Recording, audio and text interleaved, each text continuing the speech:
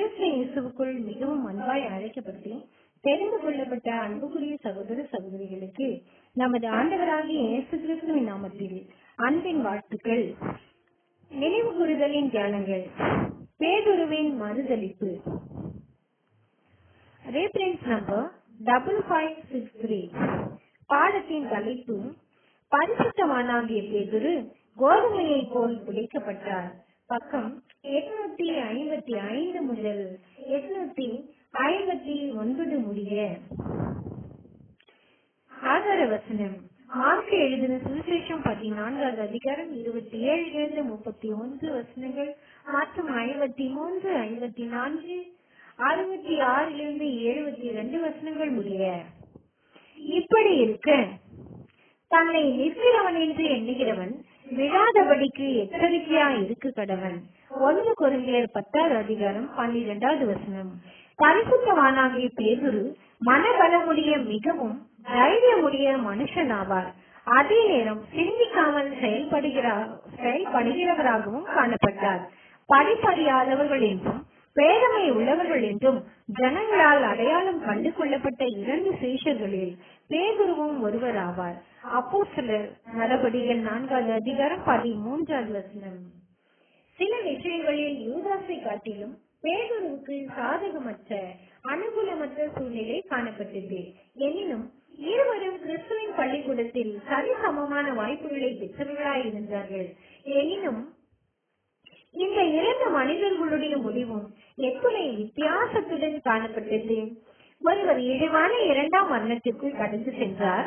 மற்றொருவரோ சோதனையிலும் பயிற்சியிலும் மேலும் கீழும் ஏறி இறங்கினவராக கடந்து சென்ற பிற்பாடு தனது ஆண்டவரோடு கூட மகிமை கனம் மற்றும் அழியாமை என்னும் பலன்களில் பங்கடைந்தார் மற்றும் அப்போ சிலர்கள் மத்தியிலும் உயர்வானவராய் கருதப்பட்டார். நமது கர்த்தருடைய மரணத்தின் காலகட்டத்தில் பரிசுத்தவானாகிய பேதருவுக்கு வந்திட்டதான விசேஷமான குலைச்சல்களை குறித்தே நம்முடைய இன்றைய பாடத்தில் பார்க்கவிருக்கின்றோம். இது குறித்து பேதுரு இயேசுவினால் முன்கூட்டியே எச்சரிக்கப்பட்டார். மற்றும் அவரிடம் இயேசு சீமோனே சீமோனே இதோ கோதுமையை சுளைக்கினால் குலைக்கிறது போல சாத்தான் உங்களை குலைக்கிறதற்கு உத்தரவு கேட்டுக்கொண்டான். நானோ உன் விசுவாசம் ஒழிந்து போகாதபடிக்கு உனக்காக வேண்டிக் கொண்டேன் என்றார். லூக்கா எழுதின சுவிசேஷம் இருபத்தி இரண்டாவது அதிகாரம் முப்பத்தி ஒன்று மற்றும் முப்பத்தி இரண்டு வசனங்கள். அநேக பல தருணங்களில் வெளிப்பட்டுதான? பரிசுத்தவானாகிய பேதுருவின் தைரியமானது உண்மையில் அவரது பலவீனமாகவே இருந்தது. பேதுருவுக்கு வரவிருக்கின்றதான புடைக்கிற அனுபவங்கள் குறித்ததெல்லாம் அவரை இயேசு முன்கூட்டியே எச்சரித்த பிற்பாடும் கூட பரிசுத்தவானாகிய பேதுரு எவ்விதமான அச்சமும் திகிலும் கொண்டிராதவராகவே காணப்பட்டார். ஆகையால் அவர் விழிப்புடனும் ஜபத்துடனும் இருக்க வேண்டி இருக்க அவர் விழிப்புடனும் ஜபத்துடனும் காணப்படாதவராகவே காணப்பட்டார். சுயத்தின் மீதான நம்பிக்கையானது அவரை இப்படியாக கொஞ்ச காலம் காணப்பட வழி நடத்தினது. இதே பரிசுத்தமானாகிய பேதுருதான் இவர் அடுத்த நாள் காலையில் சேவல் கூவுகிறதற்கு முன்பாக நமது கத்தரை மறுதளிப்பார் என்று கூறப்பட்ட போது இது நிச்சயமாய் தவறு. காரணம் தன்னுடைய ஆண்டவருக்காக தான் மறிப்பதற்கு ஆயத்தமாய் காணப்படுகின்றார் என கூறினார். இதே பரிசுத்தவானாகிய பேதுருதான் தனது பட்டயத்தை உருவி பிரதான ஆசாரியனுடைய வேலைக்காரனுடைய காலை வெட்டி போட்டார். மற்றும் இந்த வேலைக்காரன் பிற்பாடு இயேசுவினால் சுத்தமாக்கப்பட்டான். உணர்ச்சி வசப்படுகின்றதான? இதே பரிசுத்தமான பேதுருதான். இயேசுவினுடைய மேசியாத்துவத்தை முதலாவதாக ஒப்புக்கொண்டவராக தெரிவித்தவராக இருந்தார். தம்மை குறித்து ஜனங்கள் என்ன கூறுகின்றார்கள்? அதாவது தாம் யார் என்று சொல்லுகின்றார்கள் என இயேசு கேட்டார். பின்னர் நீங்கள் என்னை யார் என்று சொல்லுகிறீர்கள்? என்று கேட்டார். அப்போது பரிசுத்தவானாகிய பேதுரு பிரதி உத்தரமாக நீர் ஜீவனுள்ள தேவனுடைய குமாரனாகிய கிறிஸ்து என்றார். இந்த ஒரு பதிலானது பரிசுத்தவானாகிய பேதுரு தேவனுடன் ஒரு ஆசீர்வாதமான உறவின் நிலையில் காணப்படுவதை சுட்டி காட்டுகின்றது இல்லையில் இப்பதிலை கொடுப்பதற்கான அறிவு அவருக்கு இருந்திருக்காது என்று இயேசு கூறினார். இயேசு அவரை நோக்கி மாம்சமும் ரத்தமும் இதை உனக்கு வெளிப்படுத்தவில்லை. பரலோகத்தில் இருக்கிற என் பிதா இதை உனக்கு வெளிப்படுத்தினார் என்றார். மத்திய எழுதின சுவிசேஷம் பதினாறாவது அதிகாரம் பதினேழாவது வசனம். சிறந்த பண்புகள் உள்ள இதே பாத்திரம் தனது ஆண்டவரை மறுதளிக்கும் அளவுக்கு அதுவும் சாபங்களுடன் மறுதளிக்கும் அளவுக்கு. பயத்தினால் மிகவும் திணறி போவார் என்று யாராவது என்ன எதிர்பார்களா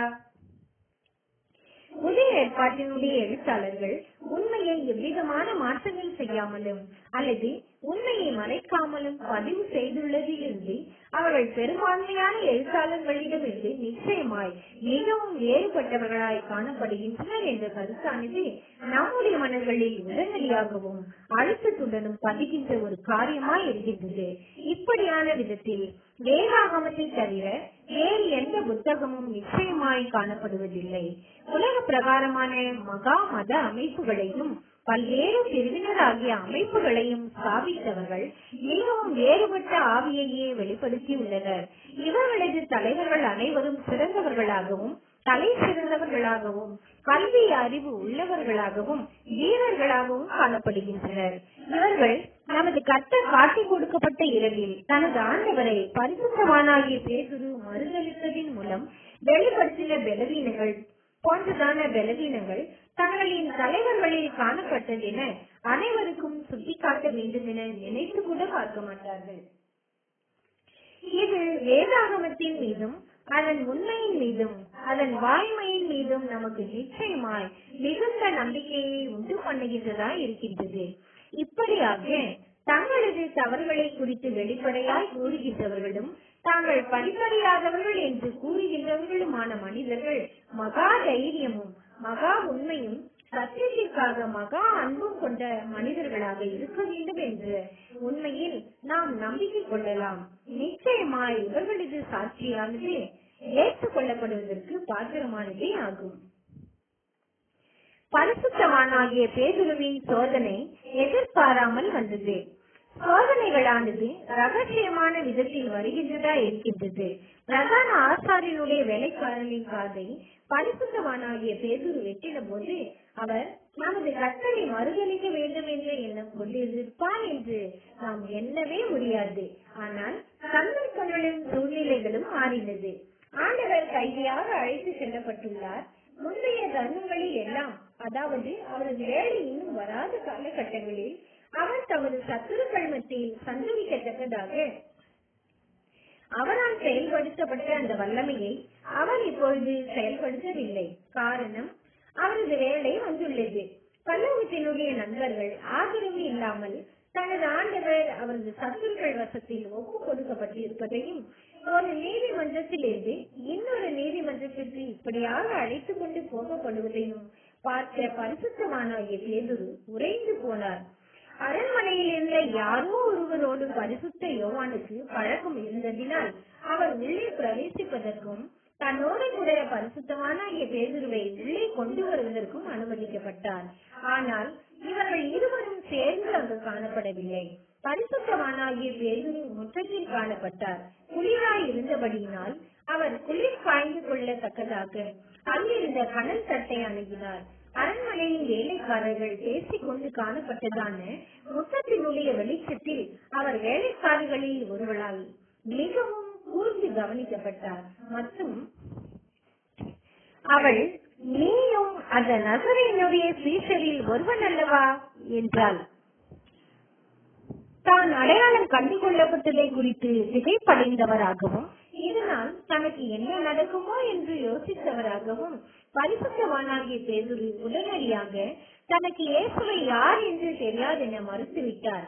பின்னர் ஜனங்கள் குறைவாகவும் இருளும் நிழலும் அதிகமாகவும் காணப்பட்டதான முற்றத்தில் உள்ள மற்றொரு பகுதிக்கு சென்று விட்டார் ஆனால் அவர் மீண்டுமாக கலிலேயன் என்று அடையாளம் கண்டு கொள்ளப்பட்டு அவர் இயேசுவின் சீஷர்களில் ஒருவர் என்று குற்றம் சாட்டப்பட்டார். மீண்டுமாக அவர் மறுதளித்தார் மூன்றாம் முறையாக அவர் இயேசுவின் சிஷர்களில் ஒருவர் என்றும் ஒரு கலிலேயன் என்றும் அவருடைய பேச்சு பாணியை அவரை காட்டிக் கொடுக்கின்றது என்றும் அதே குற்றச்சாட்டுகள் அவர் மேல் சுமத்தப்பட்டன. மீண்டும் தனது ஆண்டவரை தனக்கு தெரியாது என்று மறுதளித்து சபித்தார் பயங்கரமாய் உள்ளது என்று நாம் இதை குறிப்பிட வேண்டும். நிச்சயமாக பரிசுத்தவானாகி பேதுரு கூட இது பயங்கரமா இருந்ததாகத்தான் பிற்பாடு எண்ணி இருந்திருப்பார் ஏனெனில் அவ்வேளையில் அதிகாலையில் சேவல் கூவவே சாத்தான் பேதுருவை கோதுமையை புடைக்கின்றது போல் புடைக்கிறதுக்கு உத்தரவு கேட்டுக்கொண்டான் என்றும் சேவல் கூவுவதற்கு முன்னதாக பேதுரு தனது ஆண்டவரை மூன்று முறை மறுதளிப்பார் என்றும் உள்ள ஆண்டவருடைய வார்த்தைகளை பேதுரு நினைவு கூர்ந்தார். இவை அனைத்தும் அவரை வார்த்தைகளை. இவை அனைத்தும் அவரை நொறுக்கினது. அவர் தனது கோர்மையினால் தனது தலையை போர்த்திக் கொண்டு மனம் கசந்து அழுதவராக வெளியேறி இருளில் நடந்து நடந்து சென்றார். ஏனெனில் சேவல் கூவின போது இயேசு பேதுருவிடமிருந்து சற்று தொலைவில் நடத்தி செல்லப்பட்டு கொண்டிருக்க பேதுரு இயேசுவை ஏறெடுத்து பார்த்தபோது ஆண்டவர் தமது கண்களை ஏறெடுத்து பரிசுத்தவானாகிய பேதுருவை பார்த்தார். அது கோபத்துடன் கூடிய ஒரு பார்வையாக இருக்கவில்லை. அது அனுதாபம் மிக்க பார்வையாக இருந்தது. ஆனால் அப்பார்வை பேதுருவின் இருதயத்தை போய் தொட்டது. பரிசுத்த பேதுருவின் குற்றம் என்பது எவ்விதத்திலும் யூதா செய்த குற்றத்தை போன்றதாக காணப்படவில்லை. பேதுரு தன்னை பாதுகாத்துக் கொள்வதற்கு மாத்திரம் நாடினவராக இருந்தார். அவர் ஆண்டவருக்கு பாதகம் பண்ணவோ அல்லது பாதகம் பண்ணி பார்க்கவோ நாடவில்லை.